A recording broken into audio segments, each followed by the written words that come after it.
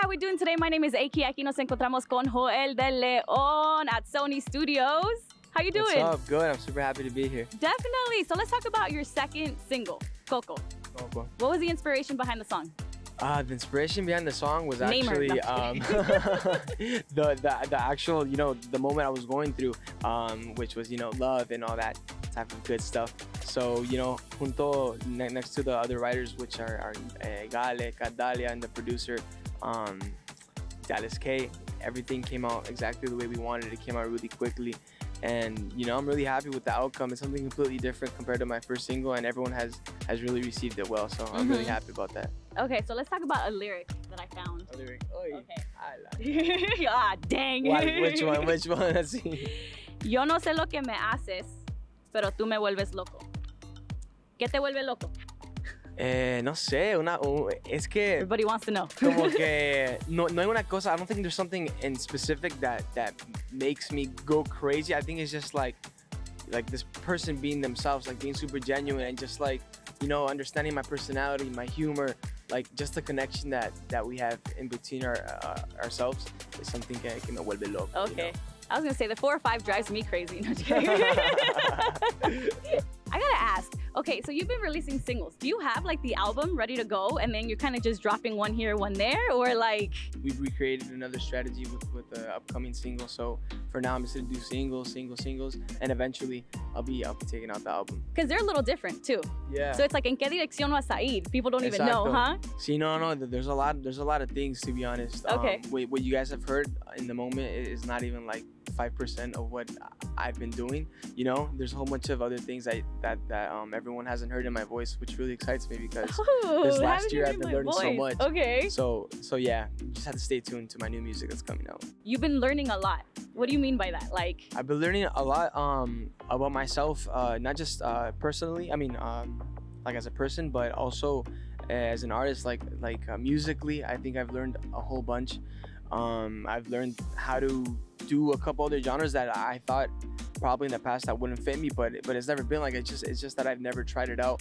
Um, I'm sitting right next to the producer like 99% of the time, you know, choosing how my voice to sound, what sounds I want to be in the in the song. So it's just like, you know, I think I've grown a lot in the, in the aspect of the musicality in my so career. like putting yourself in these random situations, is just seeing how like you grow from that. It's not just like going to the studio and recording a song. I'm there like for the whole process. So I think that that's been really nice. Okay. Would you say you're like an extrovert or an introvert? I would say, um, I think at first, when I first started, it was a bit more difficult for me um, to really express myself and be outgoing like that. You were young too, so you know. yeah, Come on. so I, think, I I would have said I was an introvert back then, but I I- but I think I'm I think I don't know if there's an in between, but I feel oh, like there is. I feel like I feel like I'm an I'm an in between. Yeah, I yeah, think yeah. I might be like a intro extrovert. I don't know, but um, when, once I get really comfortable with the people that I'm around, um, I'm a super extrovert.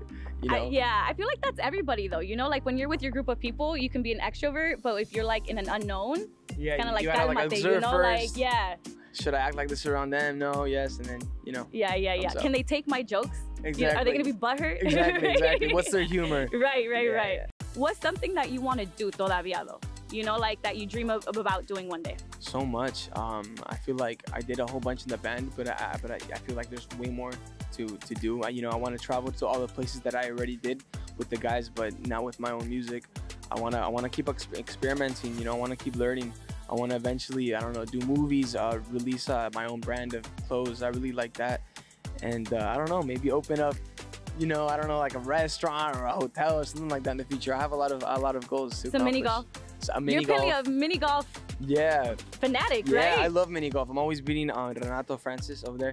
He's part of my team. Every time we go um, play mini golf, I'm always beating him. you just gotta um, win one game to be a winner. You know what I mean? You just gotta win exactly, one. exactly, Yeah. exactly. just, just before he goes on social media and puts on his stories that he beats me, but that's not right. Um, All right. But yeah, I'm gonna open up a mini golf too. Stop laughing, everybody. That's it's All right. So look, summer is coming up. Uh, coincide que Coco is a bomb song to play this summer, Thank right? you. Okay, but what's your favorite summertime pastime? Ah, there's so much. I love to play soccer. I love to be. In the know, summertime? Yeah, I love to sweat. I, I love to sweat. you know, as, as long as it's just soccer, I can't be doing anything else in sweat. If it's soccer, I'm super distracted. I'm like, you know, very into what the game is. Part of the la sangre, you know, at that point. Okay, Exacto. sure. I played right bench all of soccer, so. okay, okay, I got you. Uh-huh. um, I don't know. I also like to be sometimes like an un botecito, you know, chilling like on Okay. the water. Um, esos planes, you know, just something super chill. All right, well, thank you so much for being with us Thank today you. on LATV. Thank you, thank you.